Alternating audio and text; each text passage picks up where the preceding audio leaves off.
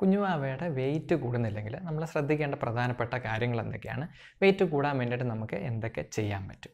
ഒരു നോർമൽ ബേബിയുടെ കാര്യമാണ് നമ്മൾ പറയാൻ പോകുന്നത്. മാസം തികഞ്ഞ് ജനിച്ച നോർമൽ വെയിറ്റ് ഉള്ള ഒരു കുഞ്ഞുവാവയ്ക്ക് നമ്മൾ എന്തൊക്കെ കാര്യങ്ങൾ ശ്രദ്ധിക്കണം? അപ്പോൾ കുഞ്ഞുങ്ങളുടെ ഒരു നോർമൽ ബർത്ത് വെയിറ്റ് എത്രയാണെന്ന് പറഞ്ഞു കഴിഞ്ഞാൽ ടു പോയിന്റ് ഫൈവ് കിലോഗ്രാം രണ്ടര കിലോയ്ക്ക് മുകളിലായിരിക്കും. നമ്മുടെ നാട്ടിലുള്ള ഒരു കുഞ്ഞുങ്ങളുടെ ഒരു ആവറേജ് ബർത്ത് വെയിറ്റ് എന്ന് പറഞ്ഞാൽ എറൗണ്ട് ത്രീ കിലോഗ്രാം ആണ്. രണ്ട് പോയിന്റ് എട്ട് മൂന്ന് കിലോ ഒക്കെ ആയിരിക്കും സാധാരണ ഉള്ള കുഞ്ഞുങ്ങളുടെ ഒരു നോർമൽ ബർത്ത് വെയിറ്റ് അപ്പോൾ ഇത് കഴിഞ്ഞിട്ട് ജനിച്ച ആദ്യത്തെ കുറച്ച് നാൾ കുഞ്ഞുങ്ങളുടെ വെയിറ്റ് ചെറുതായിട്ടൊന്ന് കുറയും. പത്ത് ശതമാനം വരെ വെയിറ്റ് കുറയാം ആദ്യത്തെ കുറച്ച് നാളുകളിൽ. അപ്പോൾ ഒരു മൂന്ന് കിലോ ആണെങ്കിൽ അത് ടു പോയിന്റ് എയ്റ്റ് കിലോ വരെ ആകാം. അതിന്റെ താഴോട്ട് വെയിറ്റ് പോവുകയാണെങ്കിൽ അത് സിഗ്നിഫിക്കന്റ് ആണ്. നമ്മൾ ഡോക്ടറെ കാണിക്കണം. വെയിറ്റ് ഗെയിനിന് വേണ്ടി ആദ്യമേ കാര്യങ്ങളൊക്കെ ശ്രദ്ധിക്കാനുണ്ട്. പത്ത് ശതമാനത്തിന് അടുപ്പിച്ചൊക്കെ വെയിറ്റ് ലോസ് ഉള്ളുവെങ്കിൽ സാധാരണ ഗതിയിൽ കുഞ്ഞുങ്ങളെ അപ്പം തന്നെ നമ്മൾ ഡിസ്ചാർജ് ചെയ്ത് വിടും. ഇടയ്ക്കൊന്നുള്ള വെയിറ്റ് ഒന്ന് ചെക്ക് ചെയ്ത് നോക്കാൻ പറയും. അത് കഴിഞ്ഞൊരു പത്ത് മുതൽ പതിനാല് ദിവസത്തിനുള്ളിൽ കുഞ്ഞ് ഒരു നോർമൽ ബർത്ത് വെയ്റ്റിന്റെ ആ ഒരു വെയിറ്റിലേക്ക് തിരിച്ചെത്തും. അപ്പോൾ മൂന്ന് കിലോ ഉള്ള കുഞ്ഞാണെങ്കിൽ ആദ്യം ഒരു പത്ത് ശതമാനം വെയിറ്റ് കുറഞ്ഞൊരു ഇരു ഇരുന്നൂറ് ഗ്രാം വരെ കുറയാം.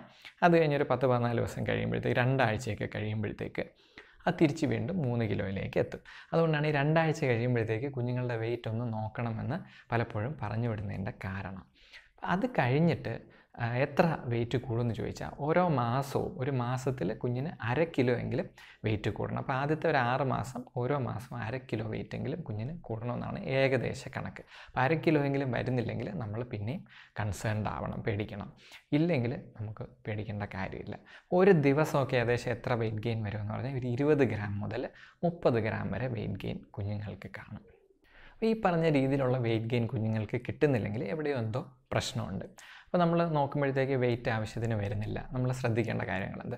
ആദ്യം നമ്മുടെ മെഷർമെന്റ് കറക്റ്റ് ആണെന്നുള്ളതാണ് നോക്കേണ്ടത്. ഇപ്പോൾ പല സ്ഥലങ്ങളിലും കുഞ്ഞുങ്ങളുടെ വെയിറ്റ് നോക്കുന്ന മെഷീൻ കാണണമെന്നില്ല. അപ്പോൾ നമ്മൾ പോയിട്ട് വലിയ ആൾക്കാരുടെ വെയിറ്റ് നോക്കുന്നതിനകത്ത് നോക്കിക്കഴിഞ്ഞാൽ നമുക്ക് ഈ കൃത്യമായിട്ടുള്ള ഒരു വെയിറ്റ് ഗെയിൻ അറിയാൻ പറ്റില്ല. അപ്പോൾ കാര്യം എന്ന് വെച്ചാൽ ഒരു വളരെ ഗ്രാംസിലുള്ള വെയിറ്റ് ഗെയിൻ ആണുള്ളത്. പല മെഷീൻസും കിലോയൊക്കെ വെച്ചിട്ടായിരിക്കും അവർ കാൽക്കുലേറ്റ് ചെയ്യുന്നത്. അപ്പോൾ ചെറിയൊരു ഇരുന്നൂറ് ഗ്രാം മുന്നൂറ് ഗ്രാം കൂടിയെന്നൊക്കെ നോക്കിക്കഴിഞ്ഞാൽ അതിനകത്ത് അറിയാൻ പറ്റില്ല. അപ്പോൾ കുഞ്ഞുങ്ങളുടെ വെയിങ് മെഷീനിൽ തന്നെ വെയിറ്റ് നോക്കാൻ ശ്രദ്ധിക്കണം. ഡയപ്പർ മാറ്റണം വെയിറ്റ് നോക്കുന്ന സമയത്ത്. കാര്യം ഡയപ്പർ ഒന്നോ രണ്ടോ തവണ നിറയുമ്പോൾ തന്നെ വെയിറ്റിനകത്ത് വലിയ വേരിയേഷൻ വരും. അത് കഴിഞ്ഞിട്ട് നമ്മൾ ശ്രദ്ധിക്കേണ്ടത് ഡ്രസ്സൊക്കെ മാറ്റുന്നുണ്ടോ എന്നുള്ളത് നോക്കണം. മിനിമം ഡ്രസ്സ് ഇട്ടിട്ട് മാത്രമേ വെയിറ്റ് എടുക്കാവൂ. അടുത്ത് നമ്മൾ നോക്കുന്നത് കുഞ്ഞിനെ പാൽ ആവശ്യത്തിന് കിട്ടുന്നുണ്ടോ എന്നുള്ളതാണ്. അപ്പോൾ സാധാരണഗതിയിൽ ആദ്യത്തെ കുറച്ച് നാളുകളിൽ അമ്മമാർക്ക് എല്ലാ അമ്മമാർക്കും പാൽ കുറവ് തന്നെയായിരിക്കും. അപ്പോൾ പാൽ ആവശ്യത്തിന് കിട്ടുന്നില്ലെങ്കിൽ അതിന്റെ കാരണം എന്ന് വെച്ച് കഴിഞ്ഞാൽ ഒന്ന് അമ്മ നന്നായിട്ട് വെള്ളം കുടിക്കണം. കുഞ്ഞിനെ നമ്മുടെ അടുത്ത് തന്നെ കിടത്തണം. കുഞ്ഞിന്റെ പ്രസൻസും അതുപോലെ കുഞ്ഞ് ഡയറക്റ്റായിട്ട് ബ്രസ്റ്റ് ഫീഡ് ചെയ്യുമ്പോൾ മാത്രമേ പാലിന്റെ പ്രൊഡക്ഷൻ കറക്റ്റായിട്ട് ഉണ്ടാവുകയുള്ളൂ. അപ്പോൾ അതുപോലെ നൈറ്റ് ഫീഡിങ് വളരെ ഇമ്പോർട്ടന്റ് ആണ്. രാത്രി സമയങ്ങളിൽ നമ്മൾ ഡയറക്റ്റായിട്ട് ബ്രസ്റ്റ് ഫീഡ് ചെയ്താൽ മാത്രമേ ഈ ബ്രസ്റ്റ് മിൽക്ക് ഉണ്ടാക്കുന്ന ഹോർമോൺസൊക്കെ ബ്രെയിനിൽ നിന്ന് നന്നായിട്ട് പ്രൊഡ്യൂസ് ചെയ്യുള്ളൂ. എന്നാൽ മാത്രമേ നന്നായിട്ട് പാൽ ഉണ്ടാവുകയുള്ളൂ. അപ്പോൾ രാത്രിത്തെ ഫീഡിങ് നമ്മൾ വളരെയധികം ശ്രദ്ധിക്കണം.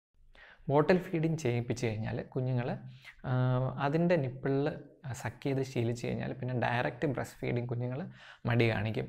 പിന്നെ നമുക്ക് ഡയറക്റ്റായിട്ട് ഫീഡ് ചെയ്യാൻ ബുദ്ധിമുട്ട് വരികയും തനിയെ പാൽ കുറഞ്ഞു പോകാനും സാധ്യതയുണ്ട്. അപ്പോൾ കഴിയുന്നതും ബോട്ടിൽ ഫീഡ് ചെയ്യിപ്പിക്കാതിരിക്കുക. ഇതിനെ നിപ്പിൾ കൺഫ്യൂഷൻ എന്നാണ് പറയുന്നത്. അപ്പോൾ ഇത്രയൊക്കെ നമ്മൾ നോക്കി മറ്റ് പ്രശ്നങ്ങളൊന്നും ഇല്ലെങ്കിലാണ് പിന്നെ എക്സ്ട്രാ ഫീഡ് കൊടുക്കണോ വേണ്ടയോ? അല്ലെങ്കിൽ ഫോർമുല മിൽക്ക് കൊടുക്കണോ വേണ്ടയോ എന്നൊക്കെ ആലോചിക്കുന്നത്. അപ്പോൾ ഒരുപാട് വെയിറ്റ് കുറവാണ്. കറക്റ്റായിട്ട് ഫീഡ് ചെയ്യിപ്പിക്കുന്നുണ്ട്. ഫീഡ് ചെയ്ത് കഴിഞ്ഞതിന് ശേഷം നമ്മൾ ബ്രസ്റ്റ് ഒന്ന് അമർത്തി നോക്കുമ്പോഴത്തേക്ക് പിന്നെ പാൽ ബാക്കിയില്ലാതെ വരിക. ഇങ്ങനെയൊക്കെ വരുമ്പോഴത്തേക്കാണ് നമ്മൾ എക്സ്ട്രാ ഫീഡ് കൊടുക്കണോ വേണ്ടതെന്ന് തീരുമാനിക്കുന്നത്. അപ്പം നമ്മളായിട്ടൊരിക്കലും പൊടിപ്പാൽ വാങ്ങിച്ചിട്ട് കുഞ്ഞിനെ കലക്കി കൊടുക്കരുത്. എപ്പോഴും ഡോക്ടറുടെ ഒരു അഭിപ്രായം ചോദിച്ച ശേഷം മാത്രമേ നമ്മൾ ഫോർമുല മിൽക്ക് സ്റ്റാർട്ട് ചെയ്യാൻ പാടുള്ളൂ. ചില കുട്ടികൾക്ക് ഛർദി ഒരു വലിയ പ്രശ്നമായിരിക്കും. എല്ലാവർക്കും അതില്ല. ചെറിയ രീതിയിലുള്ള പാൽ കുടിച്ചു കഴിഞ്ഞാൽ ഛർദി കുടിക്കുന്ന പാൽ പുറത്തേക്ക് പോകുന്നതൊക്കെ നോർമലാണ് പക്ഷേ കുടിക്കുന്ന പാൽ മുഴുവനും ഛർദിച്ച് ഇങ്ങനെ പോയിക്കൊണ്ടിരിക്കുകയാണെങ്കിൽ അത് ജി ആർ ഡി എന്നാണ് പറയുന്നത്. നമ്മുടെ റിഫ്ലക്സ് വയറിനകത്തുള്ള പാൽ ഫുള്ള് പുറത്തേക്ക് ഛർദിച്ച് കളയുന്നത് അപ്പോൾ അങ്ങനെ വരുമ്പോഴത്തേക്ക് കുഞ്ഞിന് ആവശ്യത്തിന് പോഷകാംശം കിട്ടാതെ വരികയും വെയിറ്റ് ഗെയിൻ ഉണ്ടാവാതിരിക്കുകയും ചെയ്യും. അപ്പം അങ്ങനെ ഉണ്ടെങ്കിൽ ജി ആർ ഡി കാരണം ഉള്ള വെയിറ്റ് ഗെയിൻ ഇല്ലായ്മയാണെങ്കിൽ നമുക്ക് അതിനുള്ള മെഡിസിൻസ് കൊടുക്കാം. വാം കെയർ വളരെ ഇമ്പോർട്ടന്റ് ആണ്. അപ്പോൾ കുഞ്ഞിന്റെ ശരീരത്തിന് ചൂട് തങ്ങി നിൽക്കാൻ വേണ്ടിയിട്ട് നമ്മൾ എപ്പോഴും കുഞ്ഞിനെ നന്നായിട്ട് പൊതിഞ്ഞു വയ്ക്കാൻ ശ്രദ്ധിക്കണം. പൊതിഞ്ഞു വെച്ചില്ലെങ്കിൽ കൂടുതൽ ചൂടുണ്ടാക്കാൻ വേണ്ടിയിട്ട് ശരീരത്തിനകത്തുള്ള പോഷകാംശം മുഴുവൻ അതിനുവേണ്ടി ചിലവാക്കുകയും കുഞ്ഞിന്റെ ആവശ്യത്തിന് ഗ്രോത്തിന് വേണ്ടിയിട്ട് ഉള്ള പോഷകാംശം കിട്ടാതെ വരികയും ചെയ്യും. അപ്പോൾ നമ്മൾ പൊതുവേ വിചാരിക്കുന്നത് കുഞ്ഞുങ്ങൾക്ക് നമ്മളെപ്പോലെയാണ് അവർക്ക് തണുപ്പ് വേണം എന്ന് വിചാരിച്ചിട്ട് നമ്മൾ നന്നായിട്ട് പൊതിഞ്ഞു വയ്ക്കാതിരിക്കും അപ്പോൾ അങ്ങനെ വരുമ്പോഴത്തേക്ക് കുഞ്ഞുങ്ങളുടെ വെയിറ്റ് ഗെയിൻ വരാതിരിക്കാം. ഇതല്ലാതെ മറ്റ് വെയിറ്റ് ഗെയിൻ വരാത്തതിന്റെ കാരണങ്ങൾ കുഞ്ഞിന്റെ എന്തെങ്കിലും കാര്യമായിട്ടുള്ള അസുഖങ്ങളുണ്ടെങ്കിലൊക്കെയാണ്. അത് നമ്മൾ ചിന്തിക്കേണ്ട കാര്യങ്ങളല്ല. നമ്മൾ വെയിറ്റ് ഇല്ലാതെ ഡോക്ടറെ കാണിക്കുമ്പോഴത്തേക്കും ഡോക്ടർ എന്തെങ്കിലും കാര്യമായിട്ടുള്ള ഹെൽത്ത് പ്രോബ്ലംസ് കുഞ്ഞിനുണ്ടോ എന്നുള്ള പരിശോധിച്ച് നോക്കും. സാധാരണഗതിയിൽ അങ്ങനത്തെ കാര്യമായ പ്രോബ്ലംസ് ഒക്കെ ഉണ്ടെങ്കിൽ നമുക്ക് ആദ്യത്തെ കുറച്ച് നാളുകളിൽ തന്നെ മനസ്സിലാവും. ഇപ്പോൾ നമ്മൾ കുഞ്ഞുങ്ങൾ ജനിച്ച് ഹോസ്പിറ്റലിൽ നിന്ന് ഡിസ്ചാർജ് ആയി പോയി കഴിഞ്ഞാൽ എത്ര നാൾ കൂടുമ്പം വെയിറ്റ് നോക്കണം? ആദ്യത്തെ പത്ത് ദിവസത്തിനുള്ളിൽ നമ്മുടെ വെയിറ്റ് ലോസ് കാര്യമായിട്ടില്ല. കുഞ്ഞിന്റെ നോർമൽ ബർത്ത് വെയിറ്റിലോട്ട് എത്തുന്നുണ്ടോ എന്നുള്ള അറിയാൻ വേണ്ടിയിട്ടൊരു ഫസ്റ്റ് ഒരു ടെൻ ഡേയ്സ് കഴിഞ്ഞ് രണ്ടാഴ്ചയ്ക്കുള്ളിൽ ഒന്ന് വെയിറ്റ് ചെക്ക് ചെയ്ത് നോക്കുന്നത് നല്ലതായിരിക്കും. ബർത്ത് വെയിറ്റിൽ എത്തുവാണെങ്കിൽ പിന്നെ നമ്മൾ ഇടയ്ക്ക് വെയിറ്റ് ചെക്ക് ചെയ്ത് നോക്കാറില്ല. ഒന്നര മാസത്തിൽ അല്ലെങ്കിൽ നാൽപ്പത്തഞ്ച് ദിവസം ആകുമ്പോൾ നമ്മൾ വാക്സിനേഷന് പോകുമ്പോൾ നിർബന്ധമായിട്ടും വെയിറ്റ് ചെക്ക് ചെയ്ത് നോക്കണം. പിന്നെ അത് കഴിഞ്ഞ് എന്തായാലും രണ്ടര മാസത്തിലും മൂന്നര മാസത്തിലും ഒക്കെ നമ്മൾ പോകുന്നുണ്ട്. അപ്പോൾ ആ സമയത്തൊക്കെ ഒന്ന് വെയിറ്റ് ചെക്ക് ചെയ്ത് നോക്കുക.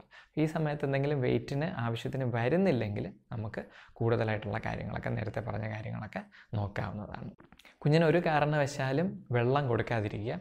അപ്പോൾ നമ്മൾ പല സ്ഥലങ്ങളിലും കാണാറുണ്ട്. അപ്പോൾ കുഞ്ഞിന് ദാഹിക്കും ചൂട് കാലാവസ്ഥയല്ലേ? അപ്പോൾ നമ്മൾ കുറച്ച് വെള്ളവും കൂടെ കൊടുക്കാം. വെള്ളം കൊടുക്കുന്നത് നല്ലതാണ്. അപ്പം കുഞ്ഞുങ്ങൾക്ക് ആദ്യത്തെ ആറ് മാസം വരെ അമ്മയുടെ പാൽ മാത്രമേ കൊടുക്കാവൂ. മറ്റൊരു സാധനവും കൊടുക്കേണ്ട കാര്യമില്ല. പ്രത്യേകിച്ച് വെള്ളം ഒരു കാരണവശാലും കൊടുക്കരുത്. വെയിറ്റ് ഗെയിൻ ആവശ്യത്തിനില്ലെങ്കിൽ കുഞ്ഞിന് അമ്മയുടെ പാൽ തികയുന്നില്ലെങ്കിൽ ഡോക്ടറെ കാണിക്കുക നോക്കുക നോക്കിയ ശേഷം ആവശ്യമാണെങ്കിൽ മാത്രം നമുക്ക് ഫോർമുല മിൽക്ക് കൊടുക്കുക. ഈ കാര്യങ്ങൾ വളരെയധികം ശ്രദ്ധിക്കുക. ഈ വീഡിയോ കണ്ടതിന് നന്ദി. നിങ്ങൾക്ക് കാര്യങ്ങളൊക്കെ മനസ്സിലായെന്ന് വിചാരിക്കുന്നു. ഈ ചാനൽ സബ്സ്ക്രൈബ് ചെയ്യണം. ഈ വീഡിയോ കൂടുതൽ ആൾക്കാരിലേക്ക് ഷെയർ ചെയ്ത് കൊടുക്കണം.